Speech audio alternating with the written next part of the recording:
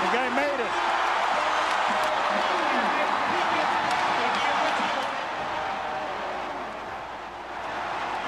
Got it.